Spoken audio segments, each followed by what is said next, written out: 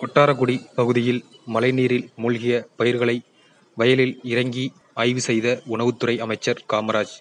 திருவாரூர் மாவட்டம் முழுவதும் கனமழை காரணமாக பயிர்கள் சம்பா, தாளடி பயிர்கள் மூழ்கியுள்ளது. இன்று கொட்டாரக்குடி பகுதிகளில் வயலில் இறங்கி பயிர் எந்த சூழ்நிலையில் உள்ளது என்பதை உணவுத்துறை அமைச்சர் ஆய்வு செய்தார்.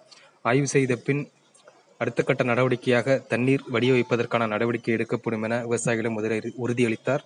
மேலும் இந்த விவசாயிகளுக்கு எந்த பாதிப்பாக இருந்தாலும் தமிழக அரசு உடனடியாக அனைத்து வகையான நிவாரணங்களையும் வழங்கும் என உணவுத்துறை அமைச்சர் காமராஜ் உறுதியளித்தார். இந்த ஆய்வு மேற்கொண்ட நிகழ்வில் மாவட்ட ஆட்சியர் சாந்தா மற்றும் கூடுதல் ஆட்சியர் கமல்கிஷோர் மற்றும் வேளாண் அதிகாரிகள் கலந்து கொண்டனர்.